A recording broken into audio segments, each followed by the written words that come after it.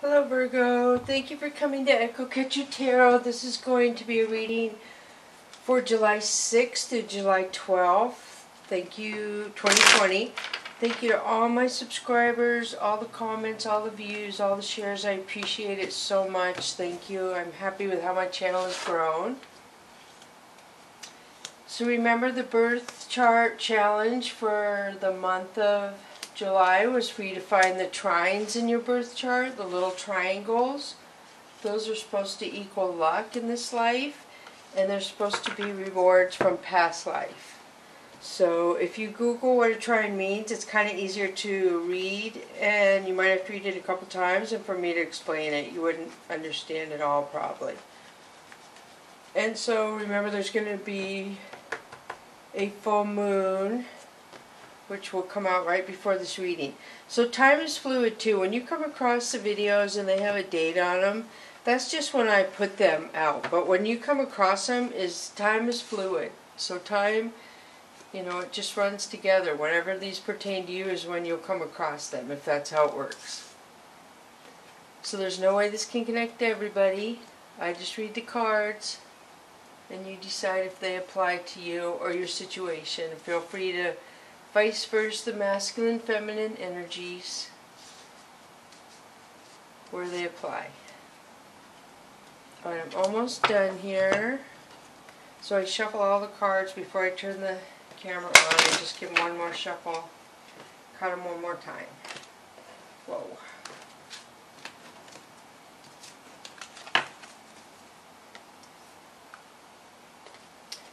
Oh, I try to do this I should put little markers, I guess, and then I'll kind of know how far over to go. Because it wouldn't take so long if I, I'm a little more aware of the space. Okay, here we go. So I'm going to start with the Whispers of the Ocean Oracle deck for you, and I already shuffled and cut those. I guess I'll do it one more time just to do it. Just to be so lucky. Now, this is a big deck, but I love shuffling them. I do. Okay, now I'm going to pull Whispers of the Ocean Oracle card for you. And your first one, Virgo, is 12, Replacing What Was Lost, number 12. You now have the opportunity to rejuvenate and start anew. Create with a new perspective or outlook. This card may also indicate abundance is on the horizon. And this talks about the five elements of life too. So replacing what was lost, that's pretty important. I'm going to look at this again just to make sure. So it just talks about you're blessed with greater strength and abundance than you're aware of. You're going to get new enthusiasm and new energy. And be willing to keep moving forward with purpose. And it just says starfish have amazing regenerative properties. Seeing a starfish reminds you that you are blessed with great strength and abundance, which is what it said. So you have strength and abundance, um, and you're going to be able to replace something that was lost. So the next one for you is 40, Rediscover Your Zeal. Pay attention to the passion you are feeling for discovery, learning, exploration, spirituality, travel, your work, or your relationship. Passion and desire go together, especially as inspiration. And passion is what I get off the color red, and yellow is sunshine and abundance. So I feel like a lot of you have to figure out what you what gives you a reason to get up and go to work every day. A lot of you have to you're a people person. So a lot of you might have a lot of animals to take care of, so that's your inspiration for getting up and going to work. Some of you have children some of you have a husband that depends on you that may be um, disabled. So there's a lot of reasons that people need, especially Virgos, a reason to go to work. They like to work and they like to be prosperous and help people, but I feel like a lot of you, something's happened to where you've lost your your passion. So I don't know if you're working the wrong job or the job you're working has just gotten old and too repetitious for you, but you're getting ready to discover something that gives you a big like energy boost and push in life is what I'm picking up because that is energy and your zeal. Beautiful Virgo. Wow, 30 surrounded by prosperity. Your attention is being drawn to the infinite nature of reality. That which exists outside the known is beyond measure. And I believe this is the yellow, no, this is the butterfly fish, I think. Let me see. No, it's the yellow tang. That's what I was going to say. So these are just like little sunshines. They represent hidden treasures around every corner in a wide variety. Um, opportunity, your solar plexus is open, your personal power, and abundance can show up in many ways. This is really powerful. Wonder what's coming into a lot of you Virgos. You, I think you've been manifesting. Whatever you've been manifesting is getting ready to come to you. Is what I'm getting. Beautiful. So now I'm switching to the Mystical Cats Tarot deck. And you have good kitty. This is good karma coming to you, Virgo. You've put good positive energy out into the universe and they're bringing it back to you. So, Sky, Tom is somebody being rude to you. Somebody in your life is just not for your highest good. They're at a lower energy, is basically what that says to me. Somebody's lashing out at you for something. Jealousy, I'm not sure. So, Ace of Fire could be passion or it could be somebody stopping something. But it's usually passion So three of fire is you asking the universe why something is going the way it's going. You're confused on why you're still struggling so much and why you haven't accomplished what you want. Sea Queen is somebody who's set in there, they're very balanced emotionally, their life is organized, they plan everything out. That's probably you, Virgo. Hmm. So then you have love and abundance, ace of earth. So you have ace of fire, ace of earth. That's good. Wow, beautiful. So then you have ace of sea. Oh my gosh, Virgo, you have three of the aces right here. And you have prosperity, replacing what was lost. And then you have sea kitten. Sea kitten is somebody coming in possibly to apologize somebody to say they're sorry about something. And then you have the sun. Oh my gosh, Virgo. So this could be um, Leo placement to me. This is representative Leo to me. So some of you could be cuspers. I always say that when this card comes up in each other's readings. Born on the day it changes from Leo to Virgo. Beautiful. So look at down here passion, love and abundance, success, happiness, warmth, abundance appear um, good karma, asking the universe why things are going the way they are, true love, and then somebody who is a lower energy, you balancing it out, and somebody saying they're sorry. So I don't know if this person who treated you bad possibly and you balanced out your emotions and then they're coming back and saying sorry and you could be a little angry about it is what I'm getting. So seven of Sea is there something right in front of your face that you're denying. You're not paying attention to. Demon cat could be a Capricorn around you. The upright uh, triangle could be an angry, toxic energy. It could be both and a Capricorn. Then there is Six of Earth. Six of Earth is generosity.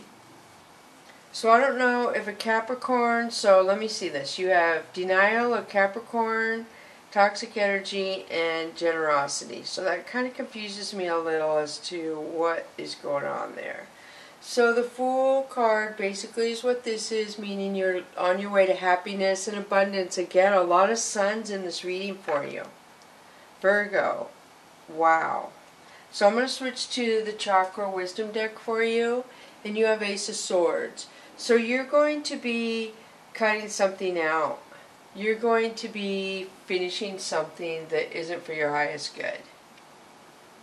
So Ten of Wands, you're going to be very happy when you do that. You're going to move into happiness, more abundance and opportunity is going to come into you when you get rid of whatever affects your identity. So Ten of Swords is you're done with something, something ended, you feel like it went on too long.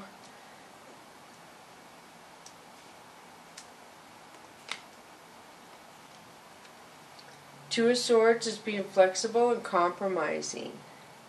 So I feel like what ended is you were so flexible and compromising and you tried to be so happy and you like bent over backwards and like hurt your happiness trying to make something work is what I'm picking up. So four of coins, now you've moved into a place of blocking your heart and your love. You're kind of pulling your heart and your love close to you. You're not going to just give it away as easily as you did before. So the devil, wow, it came up twice. Virgo. So this could be Capricorn around you. This could be toxic negative energy. I feel like here's a relationship. Somebody gave 100% of love. Somebody gave nothing. They put nothing into the relationship. So eh, some of you Virgos in a relationship where you give everything and the other person gives nothing. They just ask you all the time for stuff. To pay for stuff or to drive or stuff like that. I do feel that. So the High Priestess. Good for you, Virgo. So the High Priestess is aware of what's going on. And I feel like you really like this person. This is you, Virgo. And you're like giving this person chances. But if they're not going to meet you halfway in a relationship, you're not going to go past your little mark of the halfway unless they give you some sort of commitment, which I don't feel there is one. So somebody is forcing you to play their hand. And then they're going to come back and say, oh, oh, Virgo did this, I didn't make enough money or whatever. No, it had nothing to do. That's always a card. It seems like people seem to throw down when a relationship ends. And Virgos don't choose people for money. That's not where their heart is at. Um, so yeah, you're going to be done with this, and this person I feel is going to almost try to blame you that you walked away. But you tried. According to these cards I'm seeing right here, you gave 100% and this person looked like they gave 10 or 20%. The minimal they gave to this relationship, Virgo. So, Knight of Cups. It looks like somebody might be coming in to say they're sorry. And saying they love you. After they only gave 10% or 20%. Hmm. And then you have Eight of Coins. So you're planning and organizing and planning your future. And you're by yourself there in case you haven't noticed, Virgo. I notice. So what does that, you think that means? Let's keep going and see. Temperance. So I feel like when the cups have water, liquid attaching to them, and there's the feathers in the card, this is Temperance. I feel like you were connected in a past life for your karmics, which means you're here to teach each other lessons in relationships.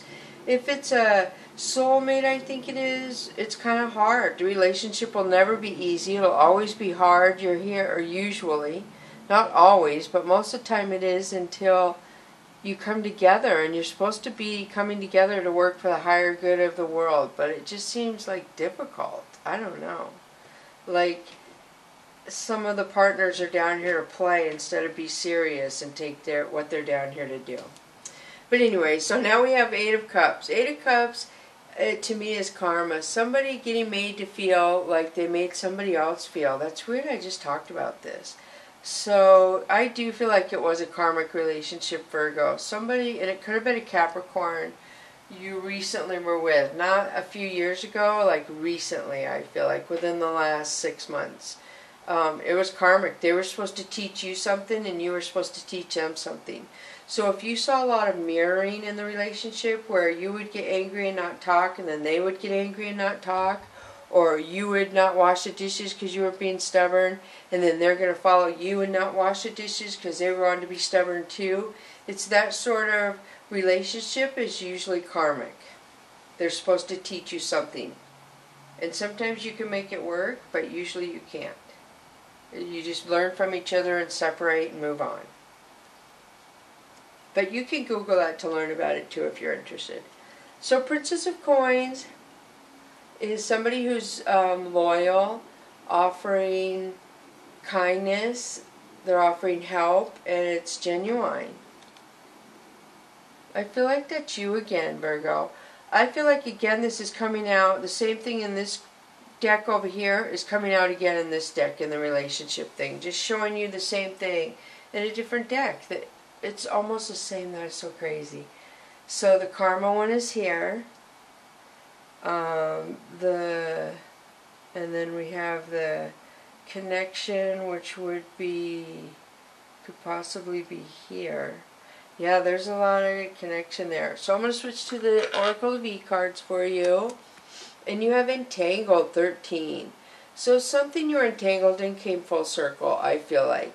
That you figured out why it was the way it is, and that would explain a karmic relationship as well.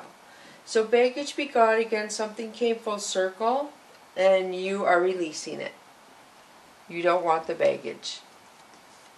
Abracadabra is you just one day, I feel like something clicks and you are aware of the dynamics of a relationship that you did not see before. So I feel like you're in denial and then one day it's like, oh, oh now I get it. I totally get what the, what I was denying. I understand. Solar powered, beautiful. Again, something came full circle and you're so shining so bright. Your light right now, you're shining brighter than the sun is what the book says about this card. That's beautiful.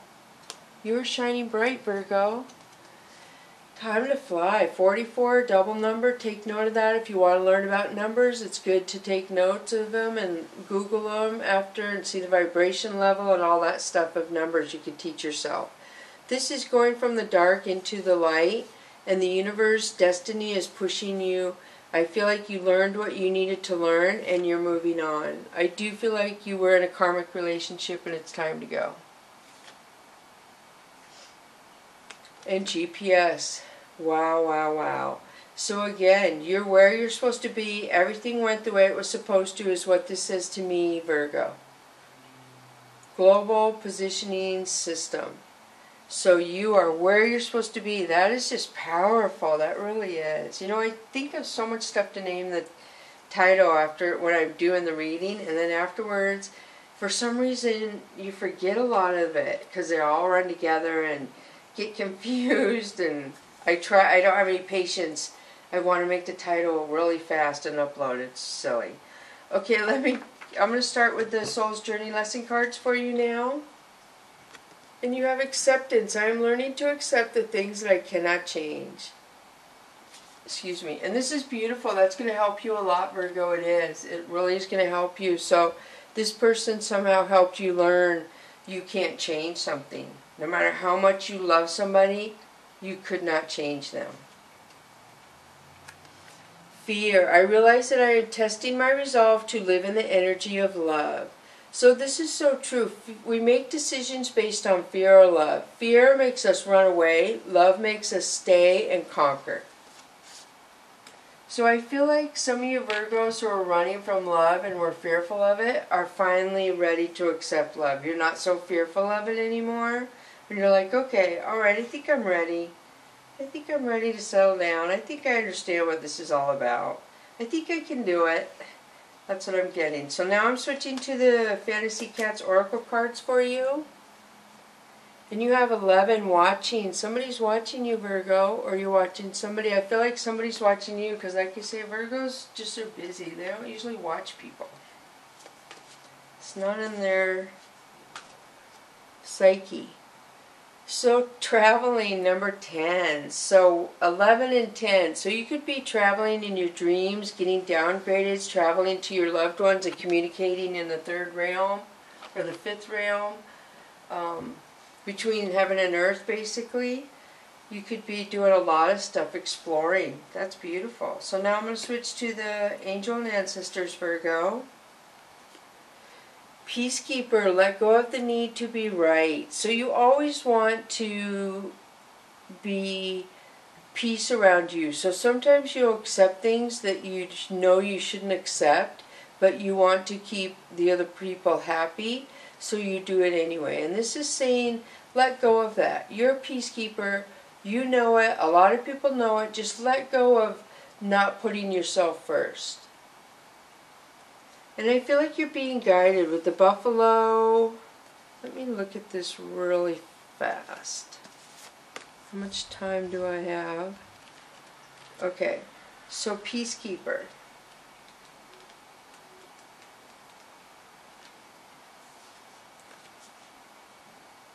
The peacekeeper is a wise Native American woman who has influenced the white buffalo woman. You may be feeling on edge due to a stressful situation. There's a warrior within you that wants to rise up, prove your point, and get the truth across. But you're being reminded by ancestor wisdom that truth will always be revealed in the end. So it just talks about don't try and prove a point. I know Virgos really like to be um, noticed for the stuff they're good and smart at. So don't try and prove a point in a situation is basically what that is saying. Just let it go. Let it go for some reason. And the next one is Magic Guardian. Unlock the magic within. Oh, this is so beautiful. So let me find this one too. Wow, this is such a good reading.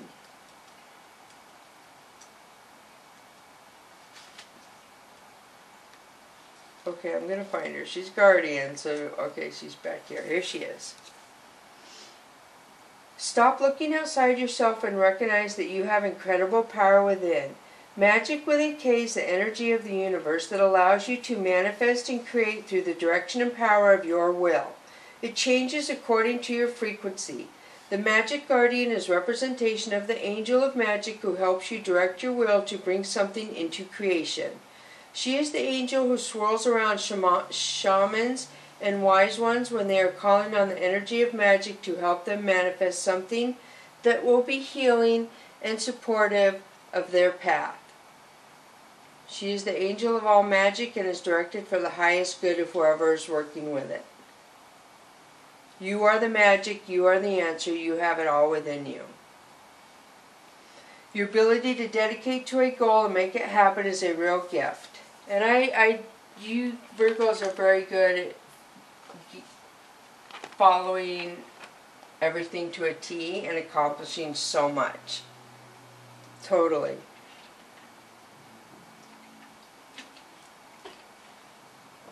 Alright, now I believe I'm going to do your fortune cookie. We're almost done. This went by pretty fast.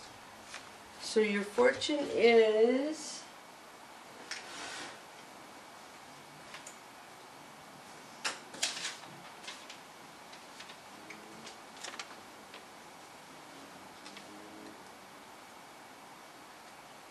Okay, here it is.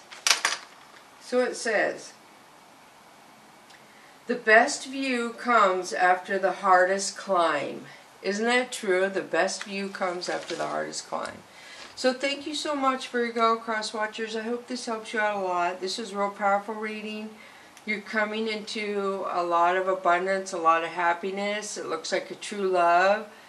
Um, you've learned a lot. You've grown wiser and you've left what wasn't good for you behind. Good for you. Thank you so much, Virgo. Bless you.